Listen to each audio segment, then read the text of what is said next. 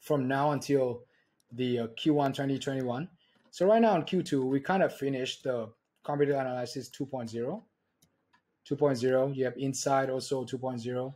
Keyword Explorer also is 2.0. So we just done like halfway. I mean, we start out around like beginning of Q1 2021. Uh, by end of Q2, we kind of on on point of how far we've gone with the two. By Q3, we want to add in um, improved data crawling function with add-on competitor content. Meaning that I want to, as I was saying before, comparative analysis will be improved um, tremendously in the next few updates, where we will actually dig deeper and and a lot more option for you to see how your competitor were doing with their content.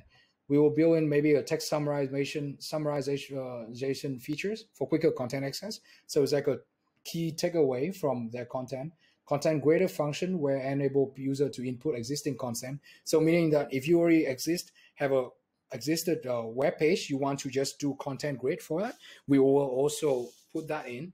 Um, that should come pretty pretty soon. I'm, we're on the process of building them, so um, testing soon and, and all that stuff. It'll take a while, um, but it will come in, right? Uh, Insight Generator 3, where we try to add on Quora and Reddit questions.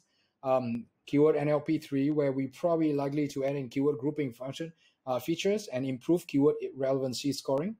Text editor uh, 3.0, we will try to improve collaboration function between team member.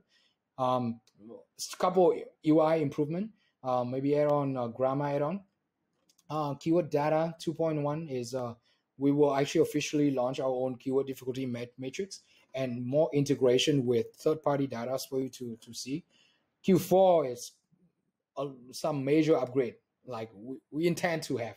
So content management platform, AI, text generation generator. So that will be GPT3 or if we find some other vendors would be great.